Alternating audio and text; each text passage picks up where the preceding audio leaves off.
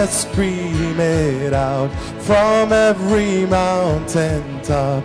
Your goodness knows no bounds. Your goodness never stops. Your mercy follows me. Your kindness fills my life.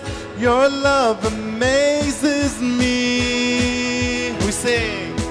not sing because you are good. Now dance because you are good. And now shout because you are good. You are good to me.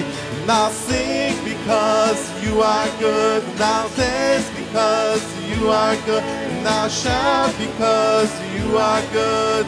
You are good. You are good to me.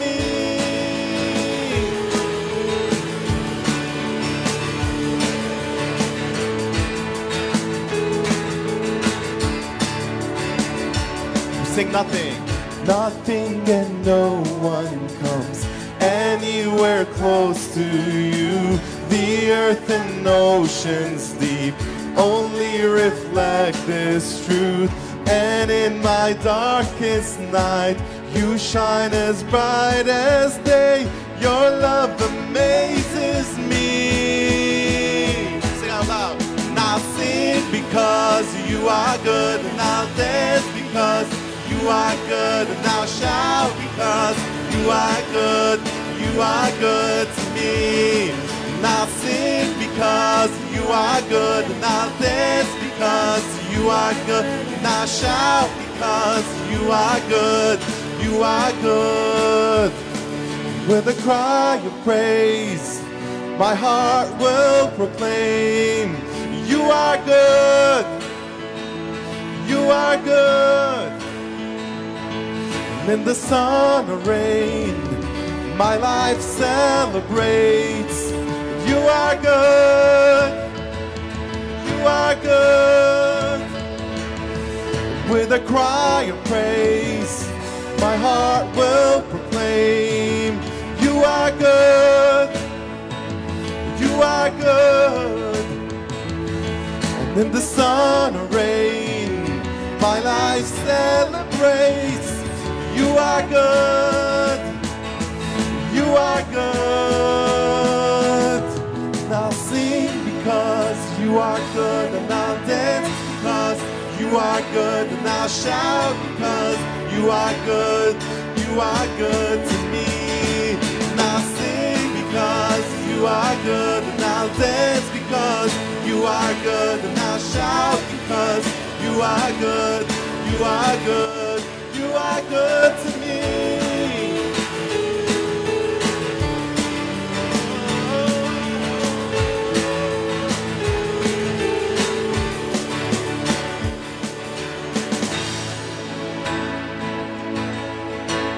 Lord is good all the time. His mercy endures forever. Amen. Sing together. Here we go. You are good. You are good, you are good, and there's nothing good in.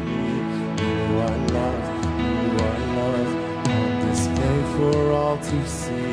You are love, you are love, darkness closes in. You are hope, you are hope, you have covered all my sin. You are peace. You are peace, you are peace. When my fears spread the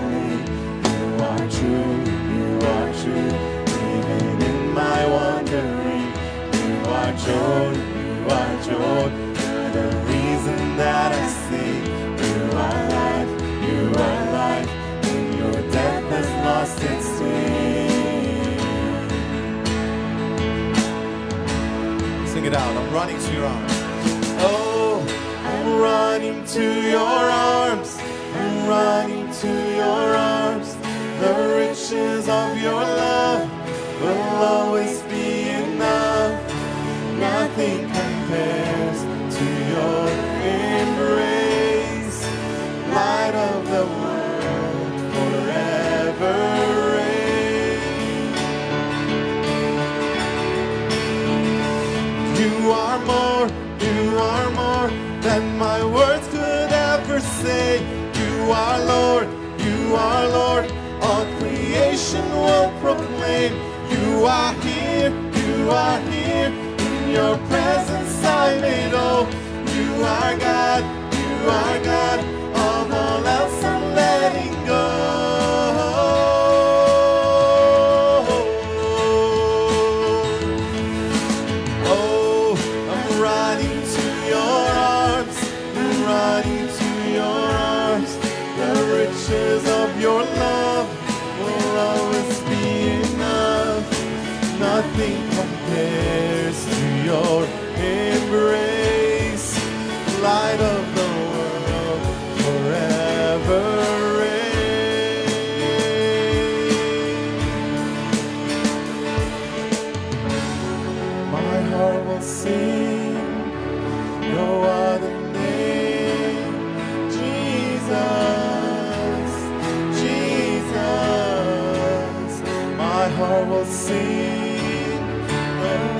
Power in the name of Jesus.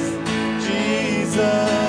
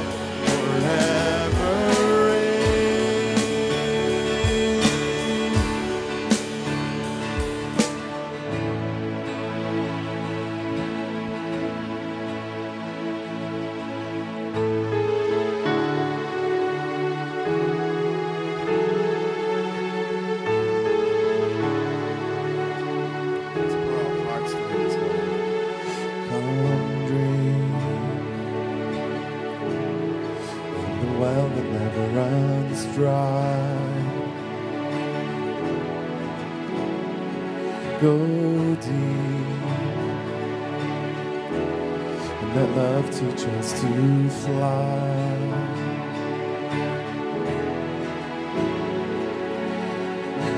There is rest here in the arms of Christ. And all who seek will surely find. You're thirsty, the Spirit and the bride say, Come. Oh, come. Oh, come. There's mercy. Doesn't matter what you've done.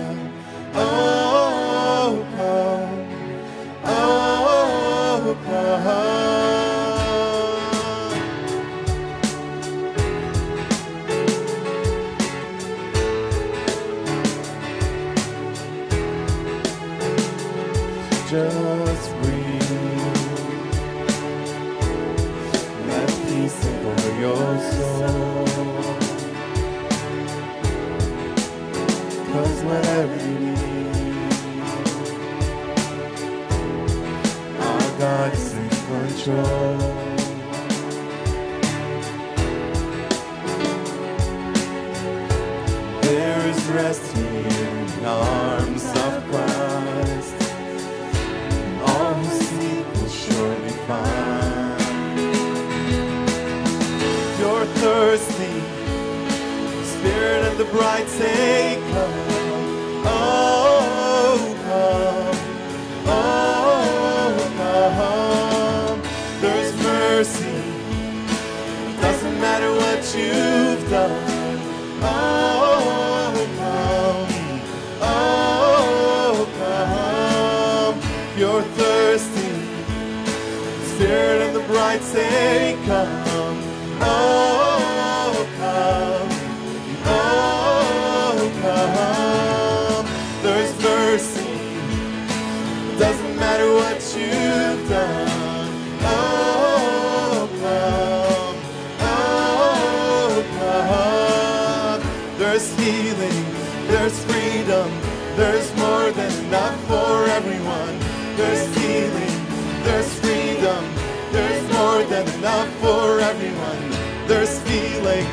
There's freedom. There's more than enough for everyone. There's healing. There's freedom. There's more than enough. So we come.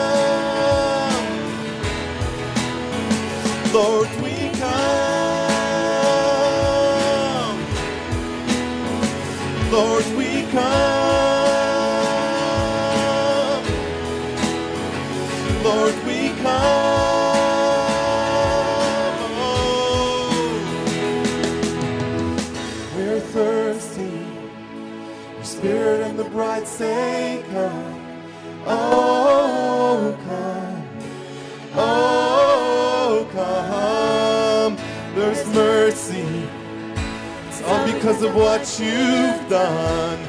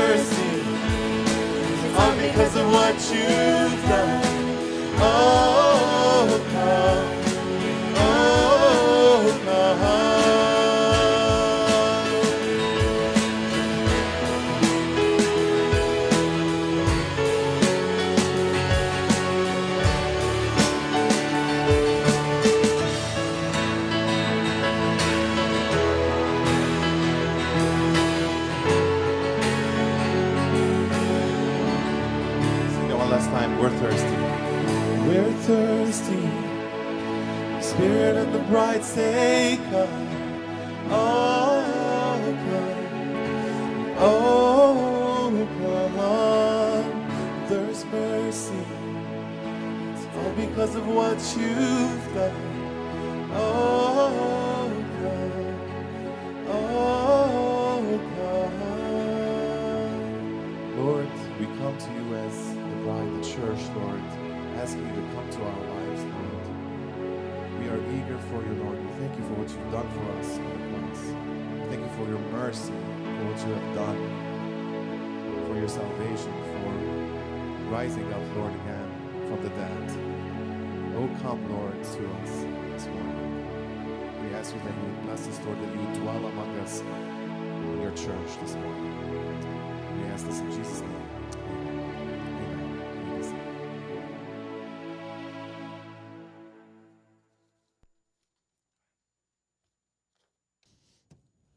and uh, I began a, a message, and I only had 30 minutes. I've been here, this is my fourth time here. And I'm not preaching a fourth sermon. I've been preaching one sermon ever since the beginning. I did my introduction when I first came here. So this is this is my way of preaching to you a six-hour sermon with you have the, not having to sit there for six hours and listening to me. Although I could do it. You know, um, we've had friends who have gone on vacations.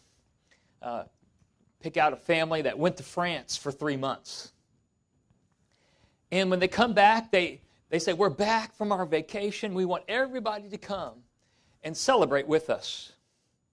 And so they invite their best friends and they all gather in the living room. And back in the day, it was pulling out the little movie projector where they took the little movies everywhere they went.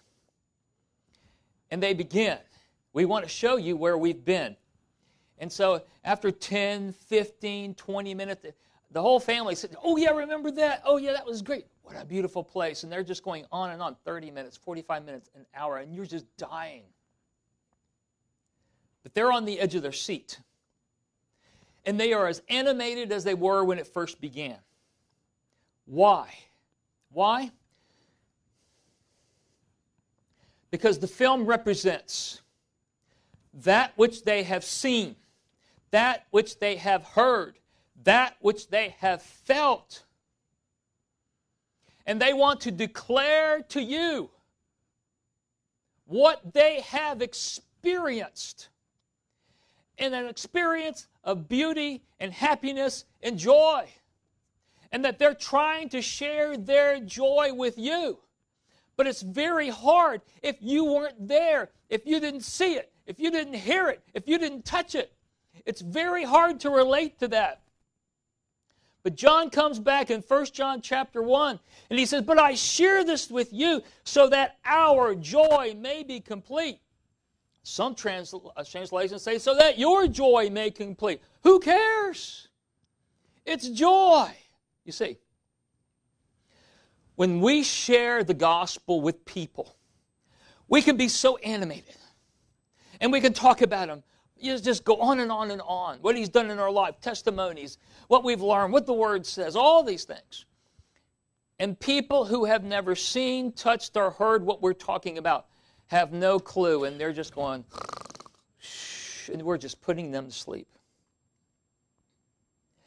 And so the question is how do you how do you motivate people to love the gospel when there is no love or affection for it within them? How does God reach a people that they might love and trust Him completely when there is no love, there is no attraction, there is no desire for trust in them in the first place? How do you do that? Parents, how do you, how do you somehow convey to a child how important homework is? How do, you, how do you explain to them that even though it's tough right now, you have no idea how important it will be in the future? It's very, very hard to do that. When I was growing up, we had a drug problem. Every time the church doors were open, my parents drugged me to church.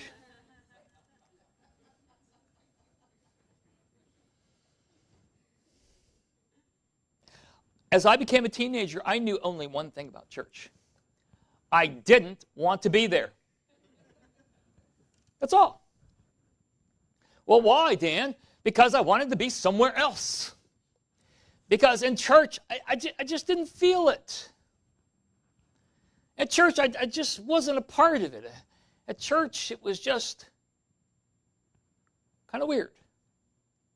But I wanted to be with my friends and go out and have a good time because I thought that's where my happiness was and that's where joy was and that was where I had fun. But as far as the things of God, I was totally unable to relate to it at all, even though my dad was the pastor. There was no desire in me for God. There wasn't no desire in me for my dad either. I loved him, yeah. But I knew he loved me differently. But I must say that the people at church were definitely different. And whatever it was they were feeling, whatever it was they were doing, it was real to them. And I heard of drug addicts being saved and just quitting a, a, a year long habit of cocaine and walking away from it, never even having withdrawals. They'll tell you the things that God did for them while they were yet sinners.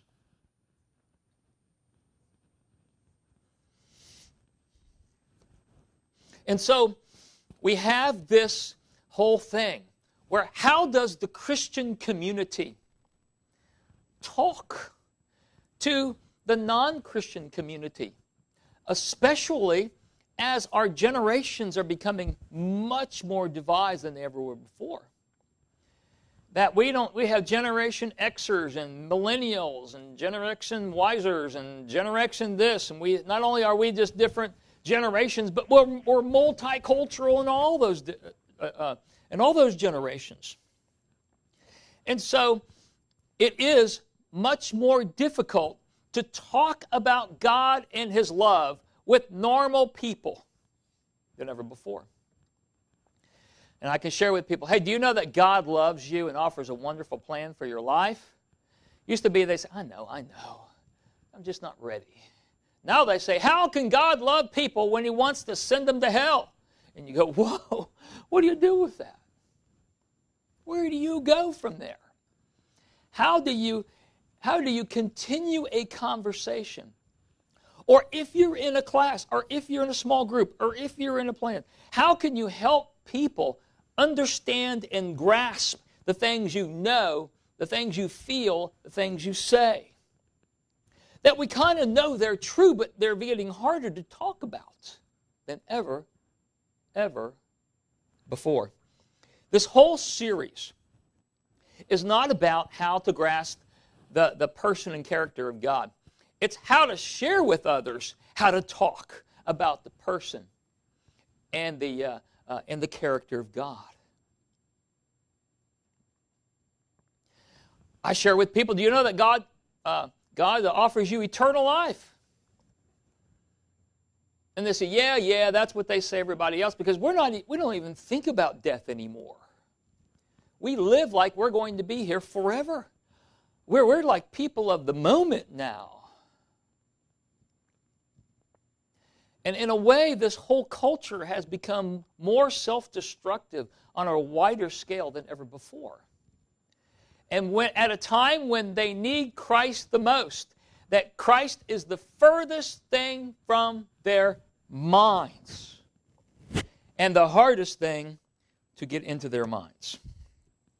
So I want to share some things that go a little further because we talked about when I first came. The introduction was that God offers you a wonderful, uh, God offers you a personal relationship with Him. That is, and that is defined by God Himself. God wants you to have the same kind of relationship with Him that He wants to have with you, whatever that is. It's defined by the fact that we never really wanted a relationship with God. We weren't the cause. And it was always God wanting a personal relationship with us, and then Him proceeding through what it took to establish that. I desire God because He desired me first. I love God because He loved me first. I pursue God because He pursued me first. I want to be like God because God is who He is from the beginning. And so I, we talked about the second thing was about the fact that God is good. Goodness is the core of God's personality. He is at his core good. Therefore, if God is at his core goodness, and, and last time I spoke, then his will must be supremely good also. Remember? If you weren't here for any of these messages, I have begged them, please videotape this. They're on the website. You can listen to all three in order, which is important. But I'm going to say this today that God expresses his goodness through his holiness and his love. God expresses his goodness through his holiness and his love. Now, I could say today we're going to talk about holiness, and when I come back next month, we'll talk about love. God is love. Today we're going to talk about God is holy. Next time we'll talk about God is love. But I can't do that. You can't dissect God like that without distorting him really, really bad. Now, you can study those things if you understand that we take God apart. we dissect him like on a science, like on a, a, a, a table, a biology class. Sometimes that basically is what theology is. It's kind of a spiritual biology class where we take God apart, we take people apart. But God is a whole. You can't do that. You can't separate God's holiness from His love. Why? Because God, the love of God, is a holy kind of love. That the love of God is a holy kind of love. And, and so to understand God's love, you also must understand His holiness. His holiness. I was uh, visiting a friend of mine in a hospital. He was about 30 years old and he had a heart attack. And so I kind of lost touch with him for a long while, but he was in the hospital and I uh, skedaddled down there. And there he was in a on a, on a gurney hooked up to the, all the monitors and the heart things and the blood pressure things. And his wife and his sister were there when I got there. Well, they were going to give me some time with this young man, and so I came over and they sat down on the floor, crossed their legs, kind of Indian style, on the floor, and they started talking to each other. While they were talking, and I was talk, trying to talk to this young man, I began to kind of listen to their conversation. And I began to listen to what they were saying to each other. His sister was in a very difficult marriage. And she was saying, I'm sick and tired of my husband. When he comes home at whatever time at night, he expects there to be a hot meal on the table, and I'm sick of it. And then he expects me to have the whole house clean. He doesn't help at all. And then, and then, after all that, he wants to get in bed with me and he wants me to interact with him in the marriage way. Tired of it. I'm not going to do it anymore. And the man and the wife of the man who's in the gurney, she's saying, That's right, me too. I'm tired of it too. And I'm thinking, Okay, now I understand why the man's here having a heart attack.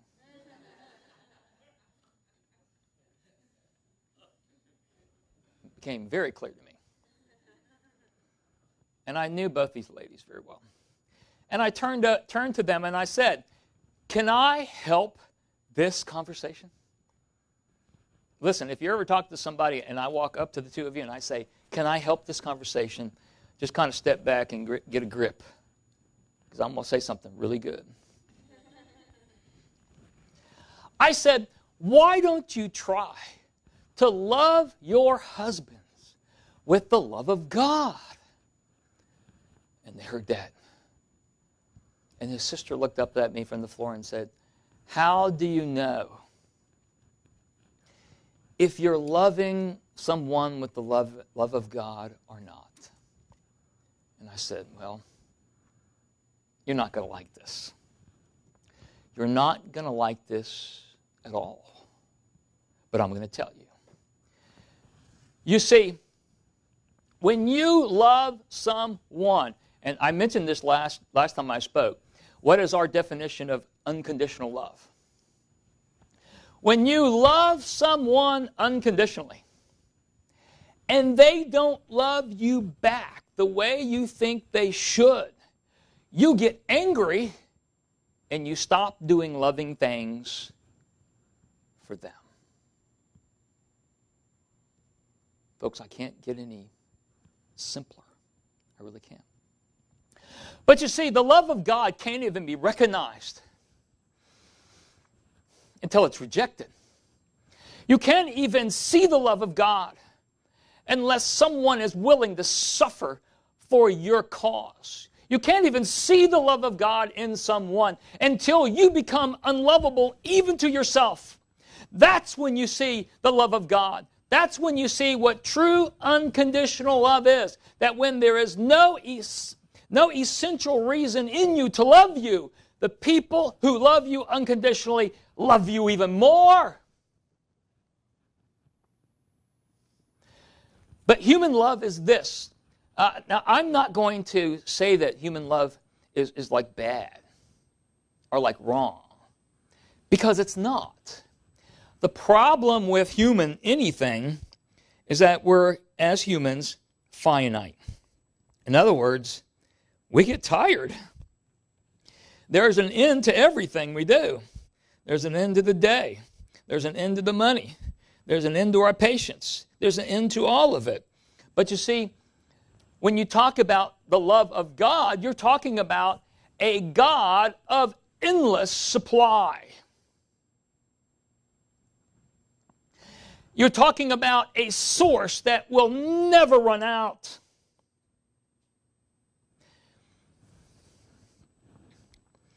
My prayer for you, my prayer for you is this.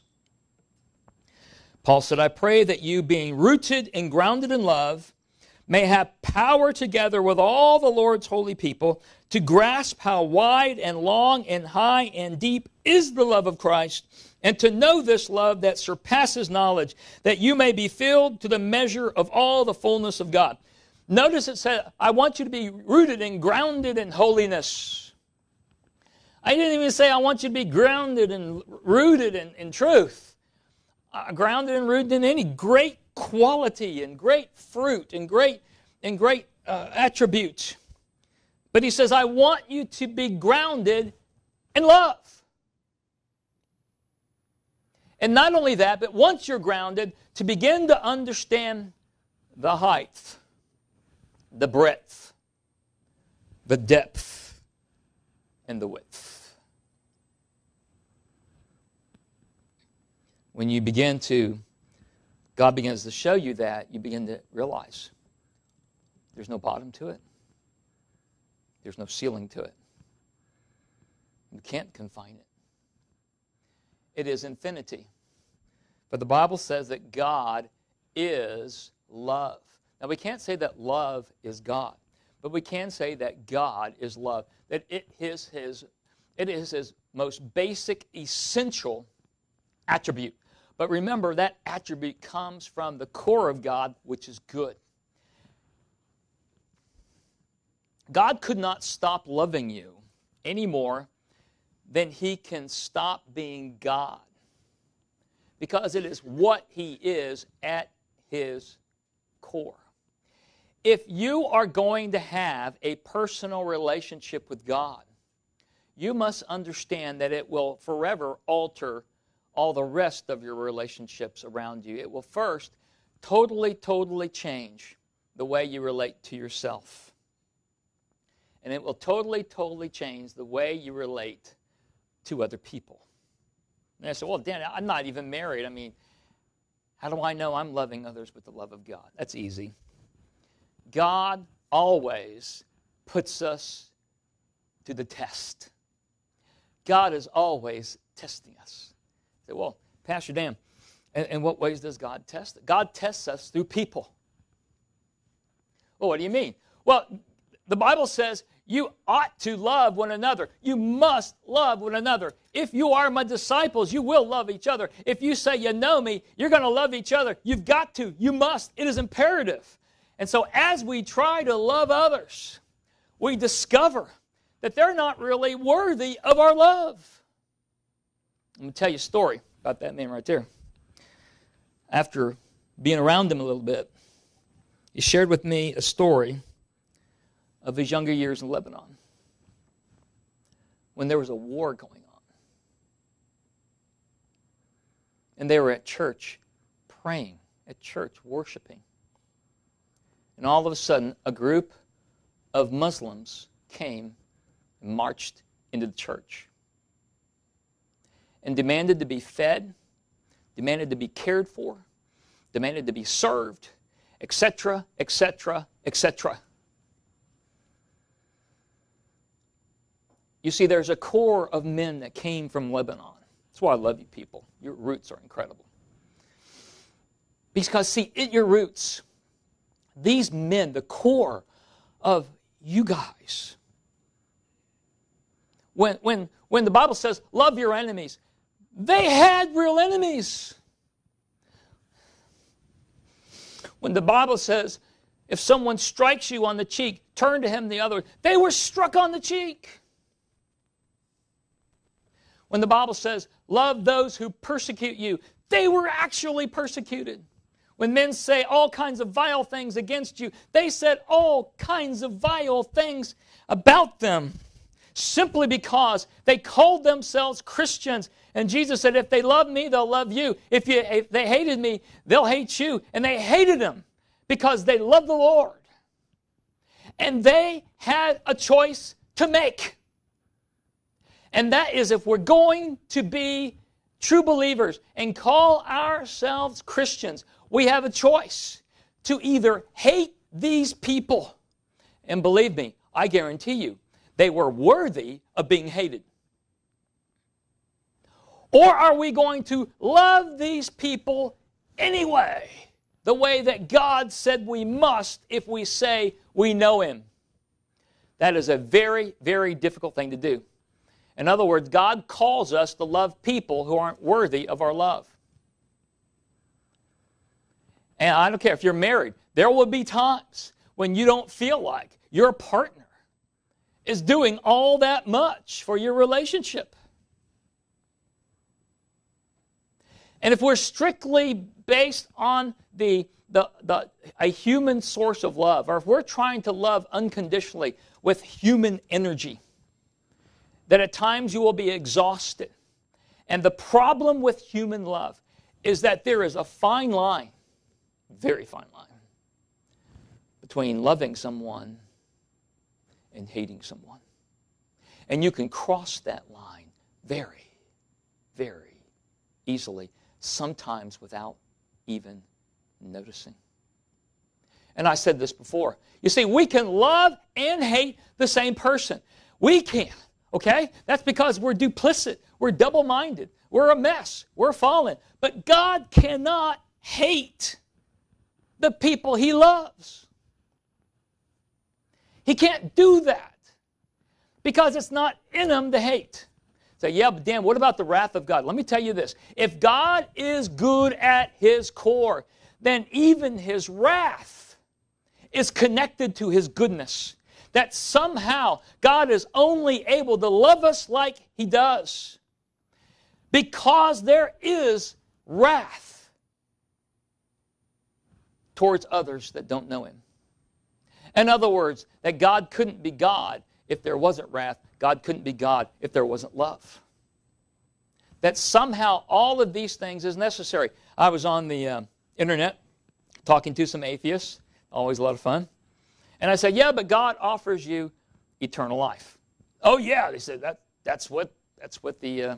No, he told me, Oh, yeah, but you, you, guys just manipulate people by telling them if they do this and do that and do that and they give this money do that, that they'll go to heaven. That's just manipulation. And I said, It's a lot more than heaven. That's not really, if you want to be technical, that's not really what's being offered us. You see, if heaven was just a place where God removed hatred, where God removed uh, uh, uh, uh, selfishness, where God removed all of these awful human attributes from our lives, and we began to live happy, harmonious lives, God could do that now. If God just wanted to eliminate everything that was evil, God could do that now. But God would have to basically tell you, you can't do this, you can't do that, no more of this, no more of that. You can't even feel this way, you can't even think this way. And we wouldn't call that good. We, we talk about government intrusion. That would be the biggest intrusion of God ever. And we could never see that as good, and we would never be attracted to it, and we would never want it because we like to do what we want to do. But see, in heaven, in heaven, what's different is that we have a different kind of relationship with God. The essence of holiness is this. What is holiness? When you say that God is holy, you're saying this one thing that God is different than we are. If you say that God loves with a holy love, that, that the love of God is different than anything on this earth. It's called agape love, agapao, the noun.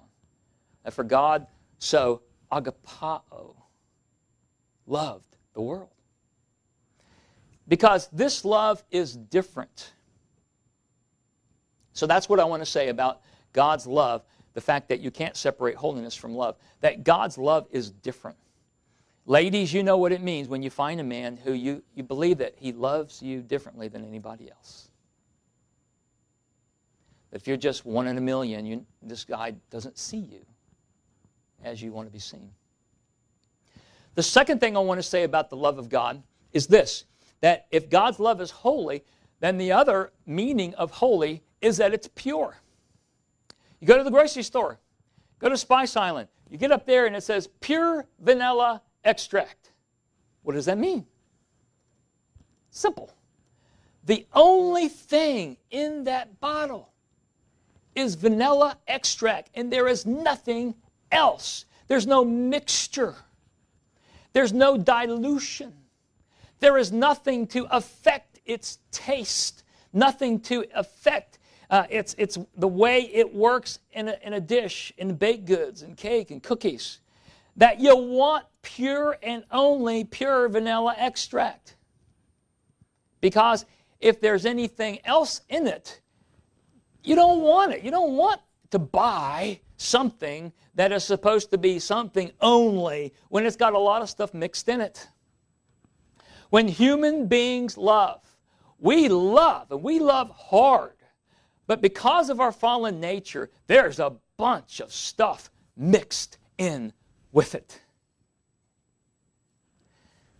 We, are, we, we have a very difficult time. The other thing I want to say about holiness, God's love is holy, is that if something is holy, it means that his, it has a singleness to it. That what's in the bottle is only vanilla extract that what's, that what's in God, God's love is only the type of love God has, which means that God does not have ulterior motives. God is not trying to accomplish two or three things. God doesn't have, I'm trying to accomplish this over here, but I want to do it by you. God's not using us to accomplish something more important to Him. God is not loving us. We are not the cause of His love. For God is the, his, his own cause for everything. And everything that He does by His hand, it is good. God created the heavens and the earth, the night and the day, the water, everything. Animals, humans. And then He said, It is good. Why? Because anything that comes from God is pure, is different, is, is a single thing. It is not mixed. It is only good because God is only good. He is not a mixture of hatred, of resentment, and of affection, and of love. He is not a mixture of those things. One of the very difficult things we have right now in helping people understand God is that God sent His Son, Jesus Christ, the representative, to show us the Father. But what we have done is we have taken His Christ and we have reworked him to be whoever we want him to be. That we've made Jesus Christ in our image. And that we don't even want to have anything to do with God because God's the one, God's in the Old Testament. And, he, and man, he, he, he, he, he, people to death. People came to death because of him. Whole, whole nations were fell because of him. That he was difficult brought down fire, plagues, all kinds of stuff. He's a God of judgment. We don't want anything to do with God. We want to do, we know that Jesus is love and only love. And that's why I've gone to such great pains to connect God, who He is at His core, what it means when He says God loves someone. Because, ladies, let's, let's flip this around. Ladies, do you want a man who has eyes for you only? Do you want a man that loves you a certain way? You and only you. Or do you want a man who's looking at all the great girls? Or you want a man that not only loves you, but you find out he's married to a second wife or a third wife. Listen, it's funny, but it happens. Some guys have two families living in two different states or counties. Should that bother a woman who thinks she's married a man who has only has eyes, only has love for her? Should it bother her? Absolutely. You expect this. This is a part of what it means to be married. Do you want someone who's not committed to you? No, I want someone who is committed to me only. A singularity there. I mean, the thing that we want most, that humans desire most, is to be known and to be known intimately. And the single greatest fear we have is to be known and to be known intimately. We both need it and we're frightened by it. Who are we at our core? And we do everything we can to dress it up, to friendly it up, to create sympathy towards the outer man. When on the inside, who are we? One of the things that sets a man free when he meets Jesus is that who I am at my core. I am no longer afraid to let people see it.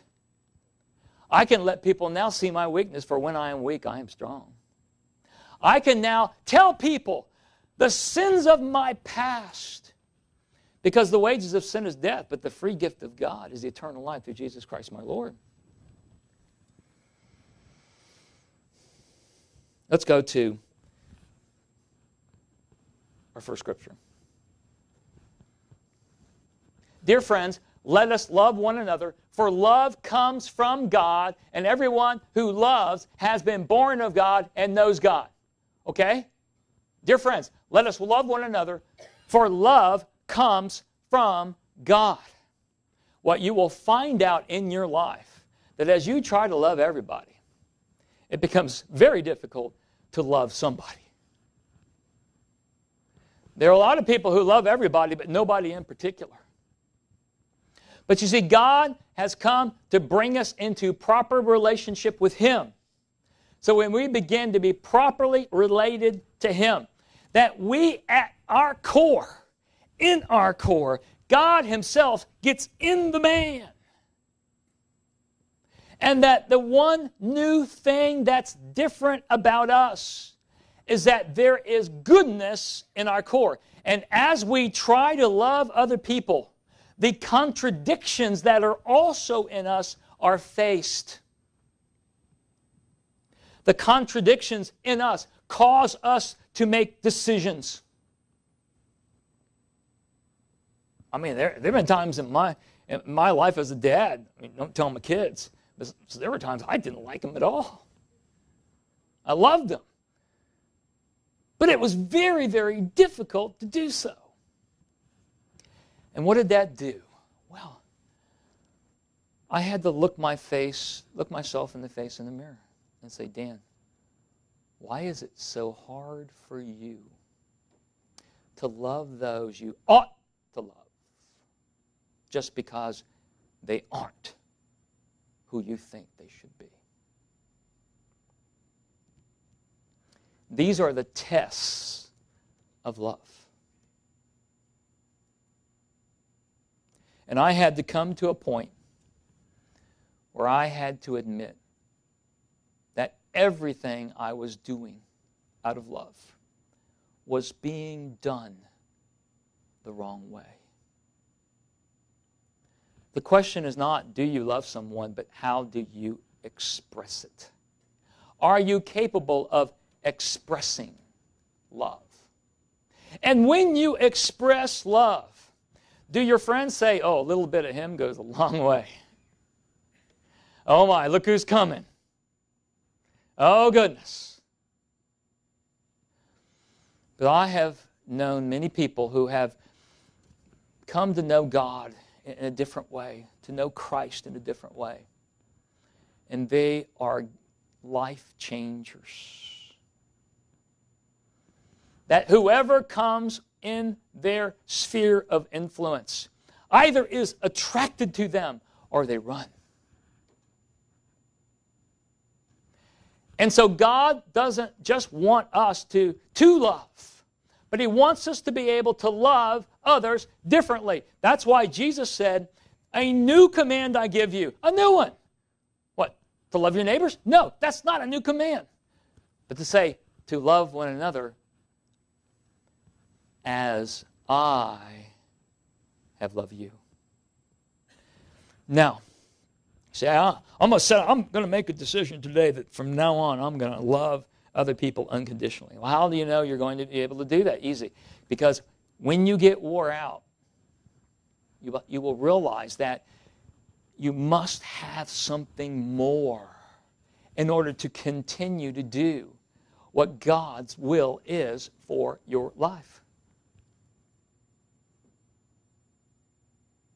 Because regardless of what you do, regardless of where you go, regardless of who you do it to or with, if the love of God is not in you and you are unable to express it properly, then nothing you do for God counts or matters, for you are a sounding gong. You are just a bunch of clatter.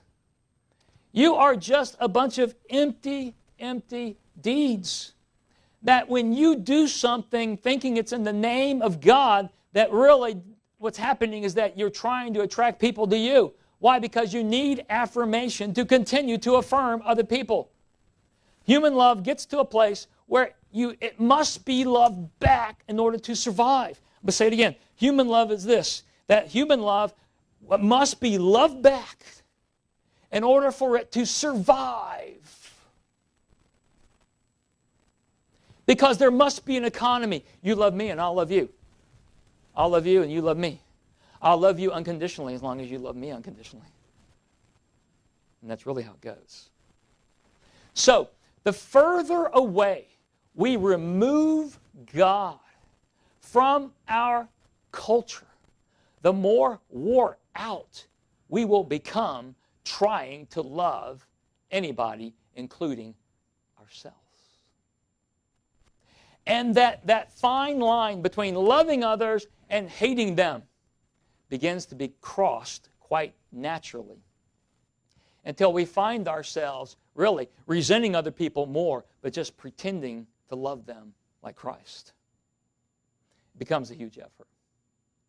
But you see, God's love, what's different about God's love is God's love is transforming beseech you, brothers, by the mercy of God, that you might present your bodies as a living sacrifice, holy and acceptable unto you, which is your reasonable service. And be ye not conformed to this world, but be ye transformed. The love of God is transforming. And whether or not you know God is also predicated on whether or not you know the love of God. And if you know the love of God, then you will have been transformed.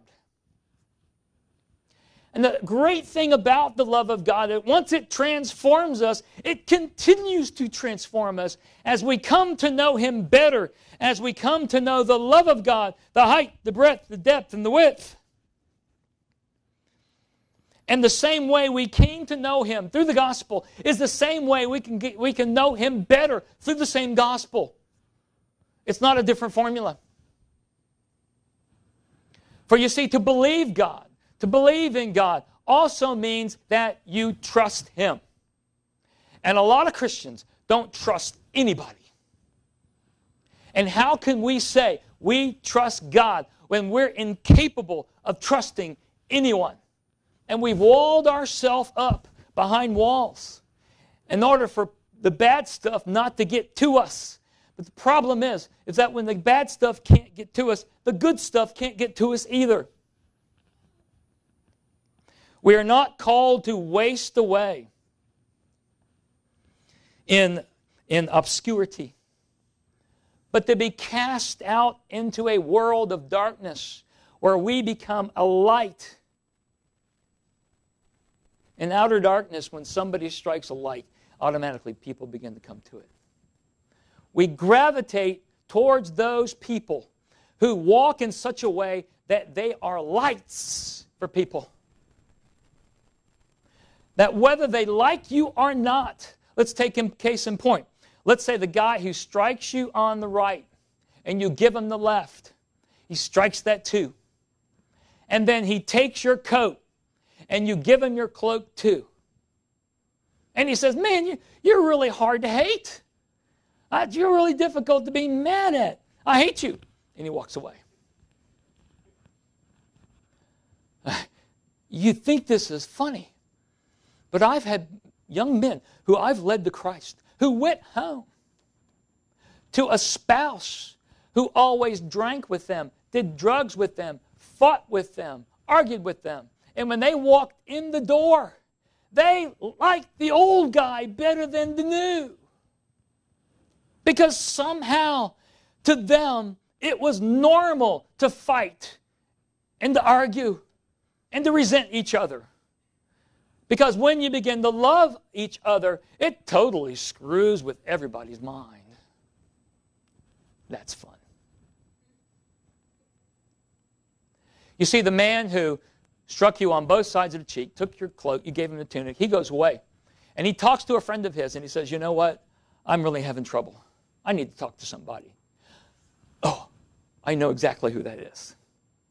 Listen, this guy over here, Hey, I, I slapped him upside one head, and he let me slap him upside the other. I stole from him, and he, and he told me he loved me anyway. He says, That's got to be the guy you need to talk to.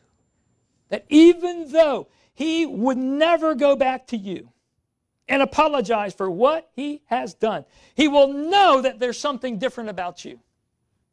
And that he, though he may never be gravitated towards you, he knows that there is still a pull.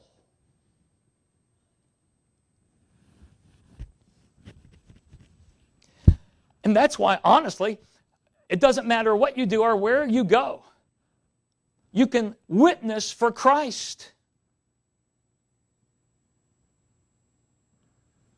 I've witnessed to Christ years ago. And I said, let's go to Denny's on Saturday morning. We'll sit down at 10 o'clock and I'll buy you breakfast. And then I'll talk to you. We'll talk. And they go, Oh, I don't know about that. I still walk by and say, You know, that invitation to Denny's, is still open. Well, I got to quit. Like I said, I never know when to stop. Let's all stand and bow our heads.